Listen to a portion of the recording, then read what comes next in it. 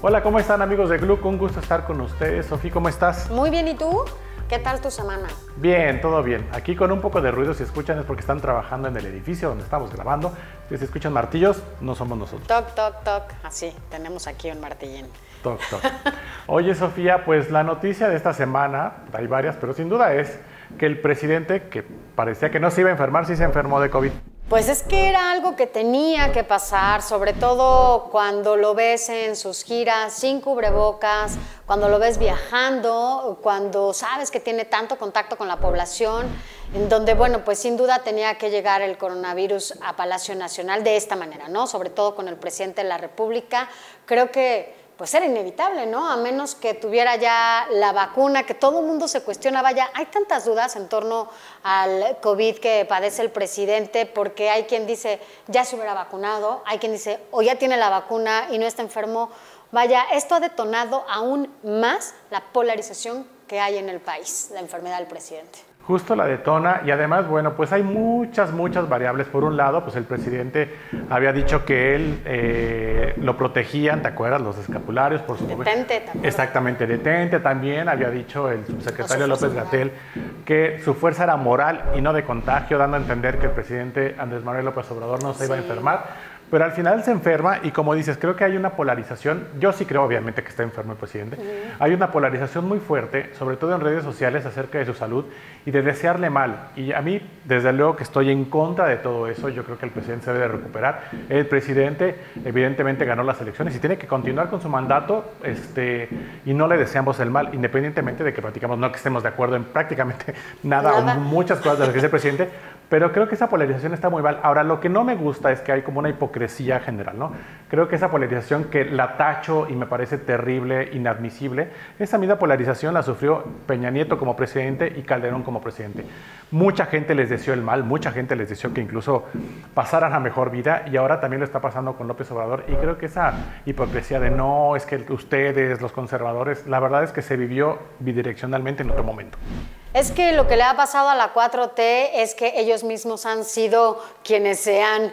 Eh, mordido la lengua por tantas cosas que dijeron en el pasado, que hicieron en el pasado y que ahora de alguna manera les está pasando a ellos. O sea, cuando se enfermó el expresidente Peña Nieto, ¿te acuerdas? En un tuit que pues resurgió ¿no? del pasado, justamente del propio Andrés Manuel López Obrador, en donde bueno, pues no creía que estuviera enfermo, en medio también de, un mal momento para el presidente en ese momento Peña Nieto. Y que si estaba enfermo, que era buen momento para que renunciara, decía el tuit. Exacto, entonces, vaya, eh, incluso les ha pasado con las propias redes sociales, ¿no? En donde, bueno, antes eran benditas, ahora son malditas, en donde ahora este, se cuarta la libertad, antes no.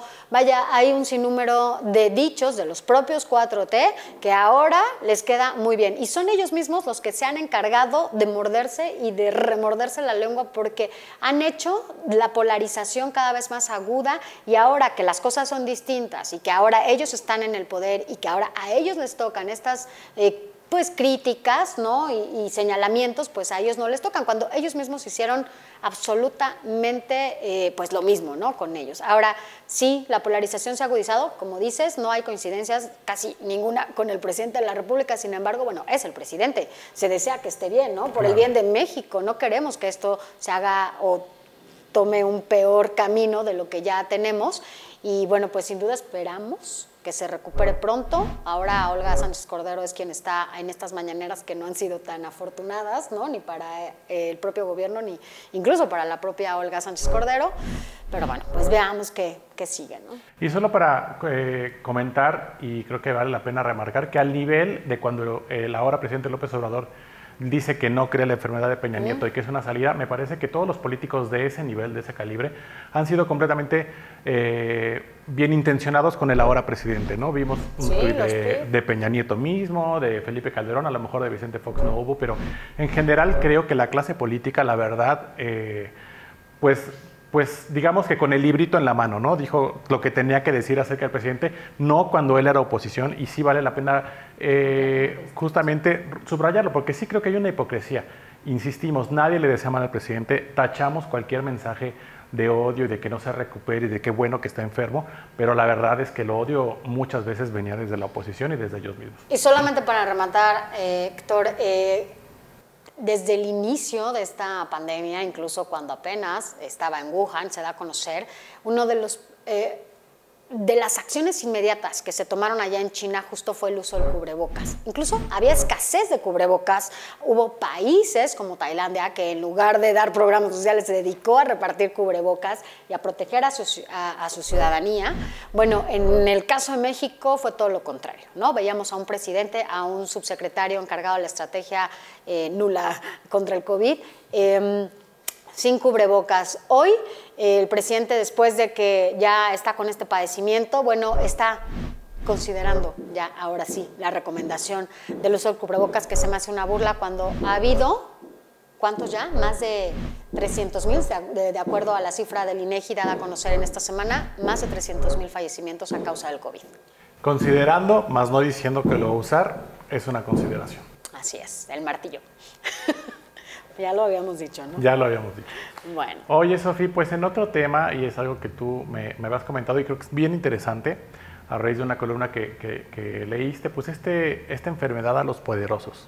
Fíjate que leía la columna de Salvador García Soto esta semana y la verdad es que sí, o sea, el COVID llegó a estas esferas de poder, ¿no? Estamos hablando del presidente, un poco lo que decíamos, estamos hablando del empresario más importante eh, o de los hombres más ricos del mundo, que es Carlos Slim, y por el otro lado la iglesia, ¿no? Eh, Norberto Rivera. Entonces, bueno, pues justamente al mismo tiempo, ¿no? De manera simultánea, estos tres poderes, la iglesia, los empresarios y el presidente están con esta enfermedad. Todo mundo sabíamos que nadie podía estar exento de un virus de esta naturaleza. Sin embargo, bueno, pues había quienes se resistían a creer o creían, ¿no? Que porque era Slim no le podía dar o creían que porque era Norberto tampoco y los alcanzó. Y esto, bueno, pues lo que significa, ¿no? Lo que significa y las propias polémicas, ya hablamos un poco de lo del presidente y también no tocamos el tema de si debe dar parte médico de su salud un presidente de la República. Por otro lado, vemos al empresario más rico de México y evidentemente el más importante del mundo, que se va a nutrición, por ejemplo, ¿no? que también causó pues no, no, polémica, pero comentarios acerca compró de... Compró vacunas. Compró vacunas y se va a un instituto público, ¿no? el Instituto Nacional de Nutrición.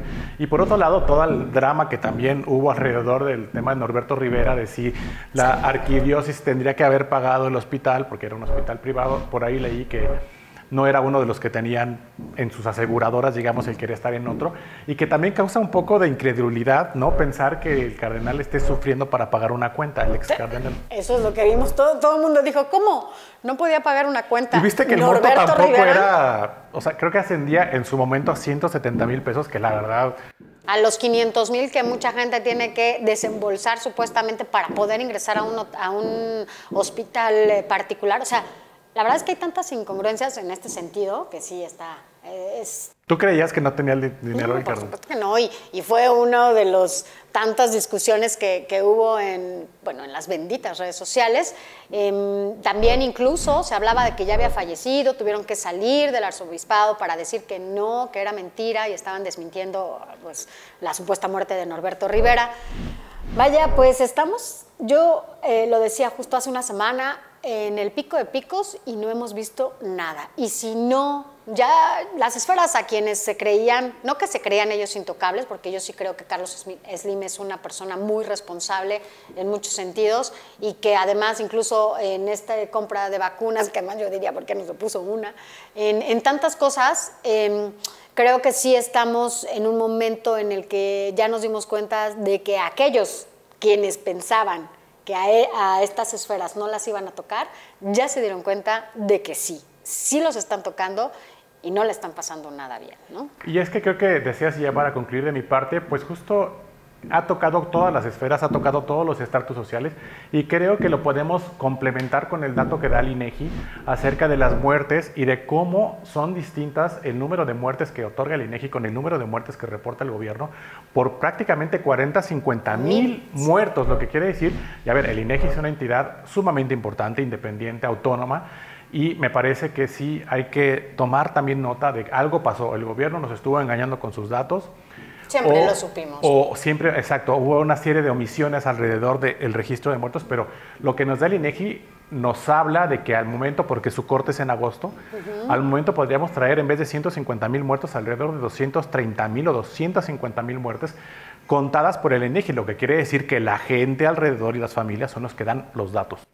Así es, porque esto lo hacen a partir de las actas de defunción y todo este rollo, sin contar todo el retraso que hay en la, pues, estas actas de, de defunción que se han retrasado incluso hasta un mes. O sea, la verdad es que esto está de cabeza, eh, yo sé que el planeta está de cabeza, pero hay lugares como Taiwán, como Alemania, como otras, eh, eh, otras naciones en donde han sabido, si bien nosotros somos una nación ya de 124 millones, 124 cada decir el INEGI, bueno, pues también tendríamos o deberíamos haber hecho algo desde el inicio para controlarlo. Sabemos que todavía no se cura, pero sí por lo menos para controlarlo, ¿no? Y la pandemia no se ha aplanado, no, no, vamos en descenso, estamos yo creo que en el peor momento y a ver qué nos depara los siguientes eh, días. Oye, y pues justamente, y ahora todo tiene que ver con esto, porque pues es el tema de temas, tratábamos siempre de traer otros aquí a la plática, pero es esto de las vacunas, ¿no? Y de,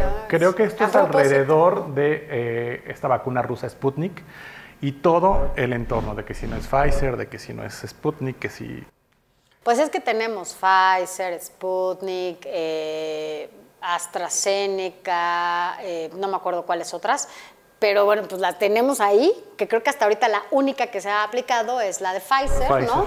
A los, al personal médico y ya entiendo a todas las personas adultas mayores, pero lo que sí es que causó mucho ruido el que hayan adquirido esta vacuna rusa, porque en realidad es una vacuna que no está registrada o certificada o aprobada eh, por la Organización Mundial de la Salud. Nadie sabe, o sea, científicamente lo han dicho, yo no soy científica pues, pero han dicho que ni siquiera saben cómo se elaboró, ¿no? Ni siquiera han concluido la fase 3 de esta vacuna y México ya la compró cuando el subsecretario Hugo López Gatell en algún momento dijo que no se podía, por obvias razones, así lo decía él, eh, adquirir una vacuna si no había concluido de manera exitosa eh, la fase 3, la vacuna que se tuviera que ingresar al país.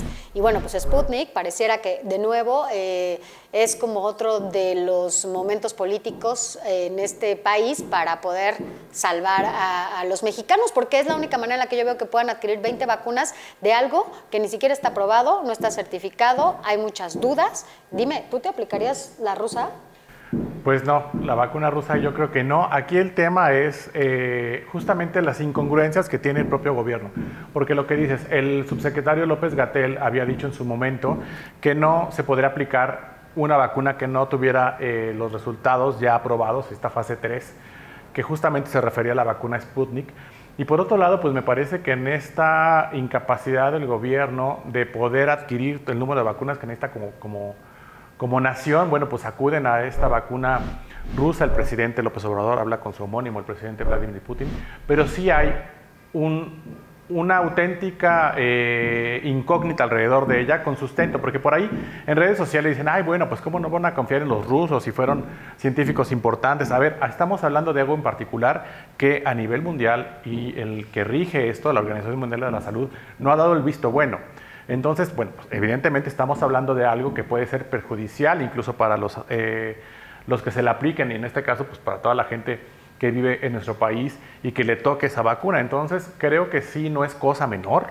Me parece que por ahí entró el debate de Angela Merkel ayer de que iba a tratar de ver si entraba eh, a esta fase 3, ¿no? esta, esta discusión de la fase 3, pero no está respaldando la vacuna. Yo creo que ella también quiere esclarecer de si sí la vacuna es aplicable o no y en estos momentos no es aplicable y aún así México la compra.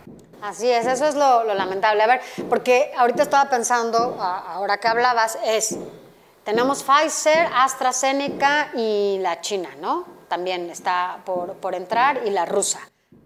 Cuando aplican las vacunas Eh, bueno, no sé el personal médico, yo creo que eh, ellos sí deben de saberlo, pero bueno, por ejemplo, las personas adultas mayores sabrán qué vacuna les están aplicando. No, o sea, yo tampoco creo lo no. están diciendo. Entonces, pueden aplicar una vacuna que ni siquiera ha concluido su fase 3, solamente porque también el subsecretario a cargo de la COFEPRIS, ahora, Hugo López Gatel, será el responsable de dar este, ah, pues, este registro para que entre a México, ¿no? Entonces, pues en manos de quién estamos, ¿no? Porque, pues básicamente ahora van a ser 20 millones de vacunas rusas. Ahora, también hay que decirlo, Héctor. Hablamos de millones y millones de vacunas. Somos 126. Va, no cuentan a los niños, ¿no? Estamos hablando de los adultos de 50 para, para arriba, ¿no? Y todo el personal médico. Em, ¿Qué te gusta? ¿Cuántas vacunas se han puesto hasta ahorita? Menos de un millón de vacunas. No, no, no, o sea, nada. Entonces, es hablar de números, es seguir engañando a la gente y seguir mintiendo con estos números que de nada sirve en este momento eh, confundir más a la gente, porque la gente dice, ah, pues ya llegaron las vacunas. No, no te van a vacunar. O sea, y es más, si tienes 20 ni te van a tocar. Entonces, yo sí creo que no hay que seguir mintiéndole a la gente, ¿no? Sí, creo que siguen utilizando esta forma tramposa de comunicar, ¿no? De ir, ¿te acuerdas el show que fueron alrededor del avión que llegó, me parece, con 2.000 vacunas y lo quisieron vender, incluso inflando la conversación en Twitter de que es que nos da esperanza como mexicanos? A ver, estamos viendo, y está documentado, eh, me parece que lo sacó el New York Times, de cuánto tardaría México a este ritmo, porque son tres años y medio. Es una barbaridad. También sabemos que no hay suficientes vacunas, pero aún así, al menos no se ve en el corto plazo, ni siquiera en el mediano plazo, cómo va a ser nuestro país para poder vacunar a toda la gente. Está terrible y peor aún ahora, dicen la nueva cepa, porque también ya saben que bueno, pues uno se informa y lee y todo más, pero a los niños y a las niñas les está pegando también el COVID y no están contemplados en la estrategia de vacunación. Entonces, hay un despapalle en este país con lo que tiene que ver con la vacunación. Pues hoy hay muchas noticias alrededor de esto, no queda más que cuidarnos, Sofía. La verdad es que no hay nada tan alentador en estos momentos que, que decir, más allá de que fue una ventana y una luz el tema de las vacunas, pero pues a seguirnos cuidando, Sofía. Sí, pero bueno, pues difícil, esa luz está muy lejana todavía, así que no hay que comprarla. Hay que ver nuestra realidad, que es completamente distinta a la de los demás. Completamente. Pues bueno, pues muchas gracias. Nos vemos la siguiente semana. Gracias, Sofía. Perdón por el martillo, pero siguen trabajando. Se equivoca.